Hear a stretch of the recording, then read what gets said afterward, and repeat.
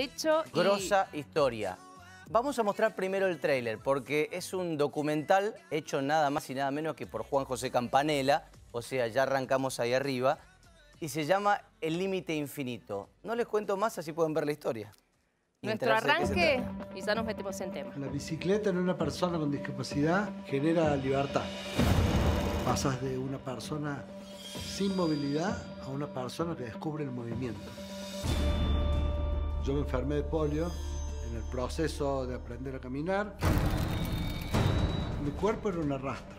Me sentí una persona vacía y me infarté. Yo sentía que me moría. Toda mi vida, obviamente, tuve el sueño de caminar. El día que me paré, me di cuenta que había estado de pie toda mi vida. Jan me dice, quiero escalar el Himalaya. Y yo le respondí, estás loco, pero bueno, te entreno. Arriba de eso no había más nada.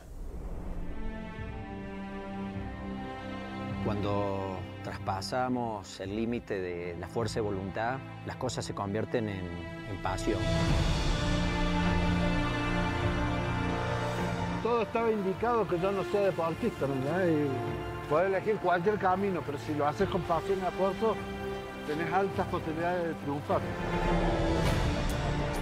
Decir, si él pudo, yo puedo. En mi caso, sobre todo un niño que, que está, se siente atrapado, como me pasó a mí cuando era chica, en torno a tu cuerpo. Y darle la posibilidad a una bici significa liberarlo de esas ataduras que le da su cuerpo. Que un objetivo de altísima exigencia y yo tenía que estar segura de que ese corazón lastimado iba a tolerar la preparación y después el ascenso.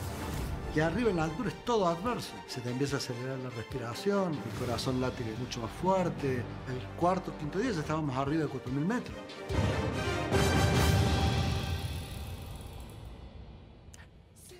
Bueno, impresionante. Y ver esto no invita a soñar, invita a concretar. Por Tal eso cual, el departamento Luján de Cuyo lo que quiere ser la primera ciudad con ciclovías inclu- inclusivas en el país. Este, está ampliando la red de ciclovías en el departamento, pero además apunta a que eh, todos los que necesiten una bicicleta adaptada en el departamento puedan tenerla de aquí al término de tres años. Y por eso vamos a mantener esta comunicación con el intendente Sebastián Bragañolo y también con Jim Maggi, presidente de la fundación que lleva su nombre. Gracias a los dos por estar ahí para contarnos sobre esto. Bueno, gracias por la invitación. Sebastián, qué gusto verte de nuevo. Hola, No, Sebastián. gracias a ustedes. Hola, ¿cómo están? Y gracias a Jan, sobre todo que me parece el protagonista y, y quien inspira a muchos, me terminó inspirando a mí eh, después de ver el documental y fue gracias al documental de él que, que me dio ganas de sumar a, todo el- a toda la infraestructura, que es la parte dura de la obra, meterle este costado humano, me parece que en el fondo es mucho más importante que la obra en sí y bueno, que la historia de la podemos replicar en miles de lujaninos. Bueno, vamos a decir esto de arranque. Creo que punto uno, así, eh, de base, el que no haya visto todavía el documental tiene que ir corriendo después de este programa a observarlo porque te, te- te trastoca, te cambia. Eh, ¿Cómo fue para, para usted, intendente? Arranco preguntándole esto a Sebastián Bragañolo. ¿Lo vio? ¿Vio el documental? ¿Se dejó llegar por la historia y dijo, quiero ir a buscar esto? 50 para arrancar, bicicletas adaptadas, y después tres años de ir repartiendo todas las que sean necesarias para Luján. ¿Cómo fue armándose la idea de esto? Bueno, la verdad que surgió así como les contaba, viendo el documental con mi mujer, con mi bebé, mi nena de dos años, y, y la verdad es que después de verlo, de conocer la historia eh, de Jan y de todo lo que pasó, y, y sobre todo el, eh, la, la segunda parte de su esfuerzo, que es la fundación y cómo está llegando a muchos chicos, y, y la verdad es que esa- ese día en la mañana yo había estado reunido con mi equipo, viendo toda la ampliación de red de ciclovías, y me di cuenta que, no- que- después de ver el documental me di cuenta que faltaba algo. Y, Claro. y es que, eh, si bien uno pasa hoy por las ciclovías de Luján y está repleto de gente, no, no, no veíamos a ninguna persona con, con discapacidad o eh, disfrutando de las mismas.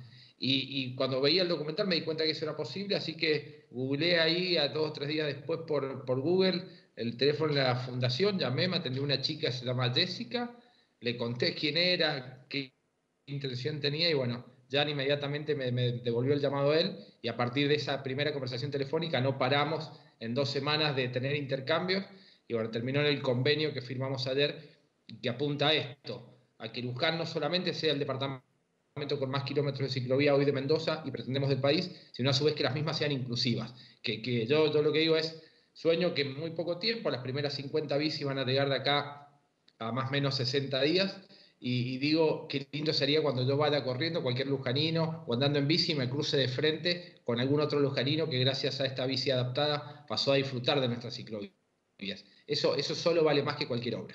Totalmente. Jan, así en general ha sido la, respuesta a partir del documental y a partir de todo el trabajo que realiza la Fundación. Bueno, nosotros después del eh, documental El Límite Infinito eh, se estrenó en eh, simultáneamente el 17 de junio en 190 países. está subtitulado a todos los idiomas que utilizan esos 190 países. Así que a partir de ahí, así como la bicicleta cambió mi vida, eh, donde dejé ese cuerpo que me tenía preso en mi mente porque pensé que la discapacidad era eh, la no aceptación misma, eh, así como la bici vino a cambiar mi vida, Netflix vino a hacerlo de nuevo, ¿no? Porque aparte, como decías vos, llegué a Netflix de la mano, es como que se, se alinearon los astros. Netflix, un ganador de un Oscar, y mi historia, en 190 países, entonces de pronto el, el, mundo se me achicó y se me puso todo en un teléfono. Así que recibo mensajes eh, en, muchos idiomas, en muchas, con, mucha, con mucho impacto de, este, de esto de las bicicletas de mano, sobre todo de, que, eh, de la fábrica, de que la fábrica de chicos con discapacidad, eh, y, y, sobre todo esto de como un elemento de aceptación. y yo digo, cuando cuando decía recién Sebastián que a lo largo de tres años poder que todos aquellos que necesiten una bicicleta adaptada la tengan. Yo digo, ese día en, Luján va a desaparecer la palabra inclusión, porque la palabra inclusión quiere decir que, que, que, es vos incluís algo. no, cuando vos decís inclusión decís algo... está excluido, algo que está, carente, claro. Está excluido. Entonces, y eso no está bien, porque no es el ser poderoso que te incluya, es, la palabra inclusión es o sea, debe ser igualdad, convivencia, compañerismo. O cuando dentro de tres años, Sebastián, con nuestras bicis, con las de otras fábricas, no importa con cuáles, terminen este proceso de que cada persona con discapacidad pueda transitar la ciclovía de igual a igual que otro, ya, ya no va a haber ciclovía inclusiva, sino va a haber una ciclovía que utiliza personas con discapacidad, deportistas, gente mayor, niños, lo que sea, va a ser la ciclovía recreativa para el pueblo, para la ciudad. Intendente, ya voy con usted y ya vamos y a preguntarles cómo se dio esta, esta reunión, este vínculo entre los dos y entre la Fundación de Jan. Pero hay que meternos en esta historia. A Jan le dio poliomielitis cuando era muy chiquito, lo dejó sin caminar y eso a vos, Jan, te, de alguna manera te aisló, te sentiste mal, contás que no querías ir a las fiestas porque te sentías afuera, contás que sentías un poco de exclusión de tus compañeros o o de esa señora en tu Córdoba natal que te tocaba la cabeza diciéndote, pobrecito. Quiero preguntarte cómo nació en vos después toda esa fuerza de decir, quiero demostrarles, sí, afuera también, pero sobre todo a mí mismo, todo lo que puedo hacer. ¿En qué momento empieza a, surgir todo ese volcán? Eh, sí, un poco lo que vos relatás fueron mis primeros 37 años donde eh, lo más grave que tenía la palabra pobrecito que en un momento me la creí. Tantas veces lo escuché. Sí. Eh, de, que se refiriesen a mí con esa palabra, que en un momento terminé creyéndomela, no aceptándome, y yo digo, bueno, la no aceptación me llevó el infarto, este infarto que yo digo, la polio me la leí de arriba, pero el infarto hice todo lo posible que hay que hacer para infartarse. y cuando vas, me, todo. si, tienen, si, tienen, si tienen un programa entero, les explico cómo se tienen que infartar. eh, Sí, eso, eso por no tomar vino lujanino ya. Claro. Lo hubiera citado de otra manera el cuerpo con vino lujanino, con Malbec. Claro, con, el resveratrol. bueno, la cuestión es que eh, cuando vos vas 30 minutos en ambulancia, muriéndote con 37 años, eh, dándote cuenta que vas en esa ambulancia y que tuviste todo, pues tenía una familia maravillosa, tenía hijos maravillosos que no le daba pelota, tenía eh, a mi esposa, que para los que ven el documental se van a dar cuenta que, es una, divinura de mujer, no, no, aparte, aparte de ser muy linda, es una divinura de mujer y que, y que no le daba la importancia que tenía. Tenía, yo iba a un asado ¿ah? y, preguntaba si el vino era de Luján y qué había de comer, pero no me preocupaba si quién iba al asado. Entonces, eso habla de el desprecio a todo lo que tenés y por esto de no tenerte un poquito de amor propio. Entonces esos 30 minutos en ambulancia, con paramédicos con la paleta desfibriladora, eh, esperando aplicártela en cualquier momento, son suficientes para, para tomar la decisión de reinventarte. Mi, mi, reinvención vino de la mano del deporte, con mucho apoyo de mi esposa eh, y obviamente... Y, y, bueno, cuando, cuando crucé la meta de Central Park, que fue mi primer, mi primer gran desafío. Eh, ahí dejé ese cuerpo que me había tenido preso durante tanto tiempo para encontrar este deportista de alto rendimiento que indudablemente estuvo siempre ahí, eh, pero bueno, que lo descubrí gracias al infarto y bueno, a partir de ahí empecé, si corrí la maratón de Nueva York, porque no esto, porque no lo otro, porque no lo otro, llegué al paso más alto del planeta, 5.600 metros sobre el nivel del mar, eh, que queda en la cordillera que se puede llegar en una bici.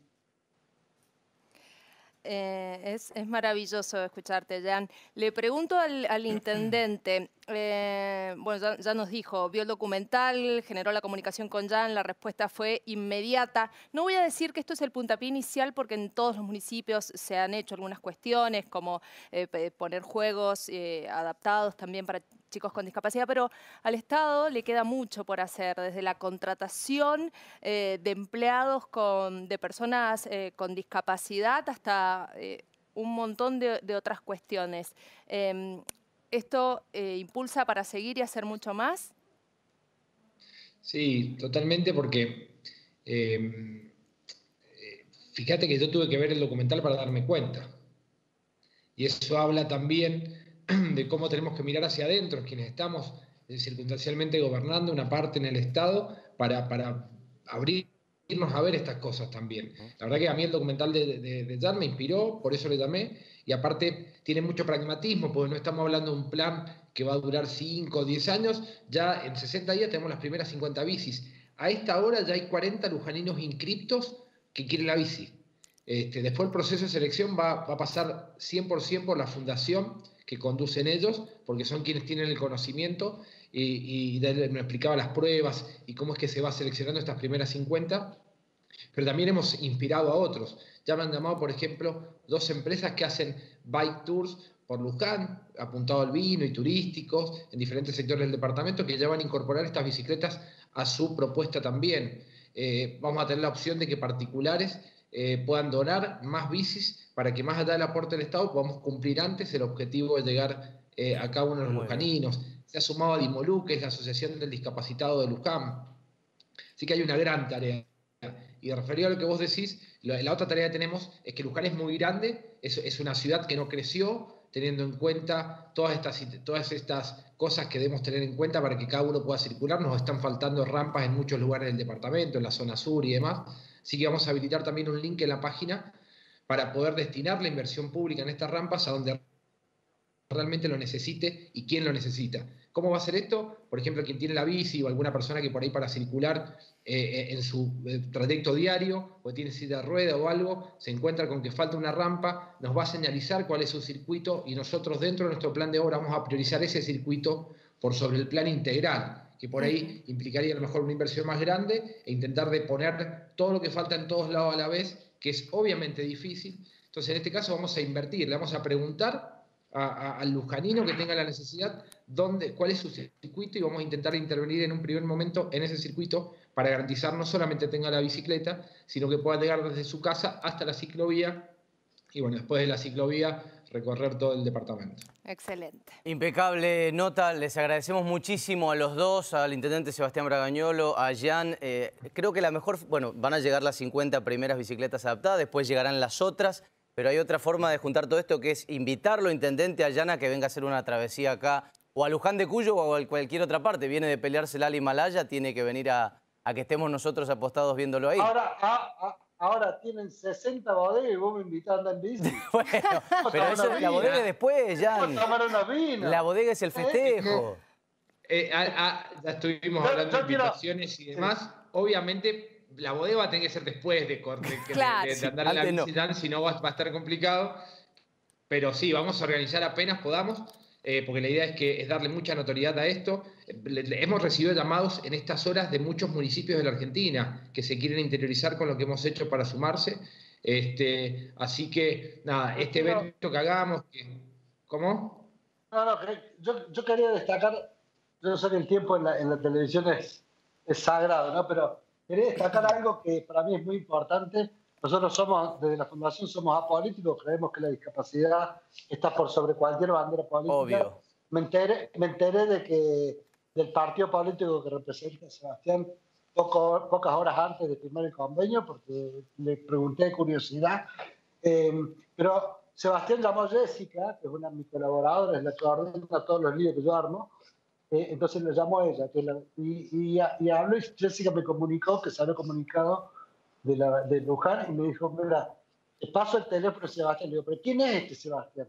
Dice, es el intendente. No, no puede ser. Me dice, es el intendente. Y me dijo, cuando terminó de hablar, me dice, ¿quién sos? Y me dijo, soy el intendente. Lo cual habla de, de- de en una Argentina, en la Argentina que vivimos, de un hecho muy loable, eh, de, que, de que se haya involucrado él personalmente, eh, de que no haya hecho uso de su cargo y que bueno, que creo que todo eso ha hecho posible que pronto eh, me vaya a Luján a, a tomar unos vinos. Bueno, en buena hora que se hayan comunicado, tenemos que cerrar país. lamentablemente, así que muchísimas gracias a los dos por este ratito compartido desde la redacción. Hasta luego. Gracias a ustedes Ah. y vean el documental. Quien no lo ha visto, vale la pena conocer la historia de ella. Por buenísimo. supuesto, por supuesto. Chau a los dos, gracias. Gracias. Chao, gracias. Eh, tremenda nota, el límite infinito el nombre del documental, porque varios ya están preguntando, así que está en, está en Netflix para verlo.